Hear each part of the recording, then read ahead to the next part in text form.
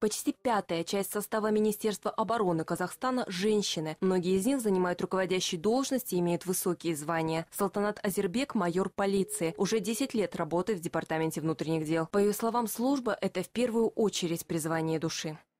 Ни на минуту не задумывалась о том, что я женщина, и мне бы какие-нибудь поблажки нужны, как говорится, 50% скидка. Я работаю наряду с мужчинами, даже в каких-то вопросах перегоняю. Но тем не менее я не перестаю быть женщиной. Женщина я дома, дома я жена, мама. У меня подрастает двое, два очаровательных ребенка, девочка и мальчик. Дома Надежда Тишаева тоже любимая жена и мать. А на работе она лучше многих мужчин разбирается в сальниках, фильтрах и коробках передач. Семь лет назад она открыла свой автосервис. Сейчас под руководством бизнес-леди работают 12 человек. По словам Надежды, ни одной жалобы от клиента еще не было. Правда, автовладельцы часто удивляются, что о том, как починить железного коня, им рассказывает женщина.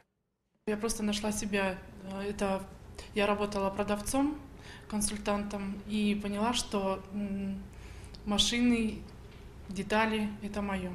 Я консультирую, рассказываю, потому что немногие знают, э, когда приобретают машину, на каком пробеге все это меняется. Наши героини – доказательство тому, что в Казахстане нет ярко выраженной дискриминации по отношению к слабому полу. К такому выводу политики и общественные деятели из 12 стран пришли на международной конференции «Женщины. Мир. Безопасность». Казахстан у нас в регионе находится, а, имеет очень большие, так сказать, достижения, а, достижения а, в области гендерного равенства.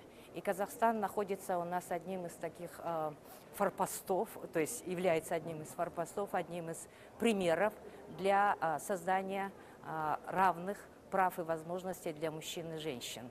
К слову, по итогам международной конференции «Женщина. Мир. Безопасность» приняли особый документ. Он обобщил весь опыт в борьбе за права женщин. Юлия Скейджин, Бек Бимагамбетов, Азет Кундакпаев, телеканал «Алматы».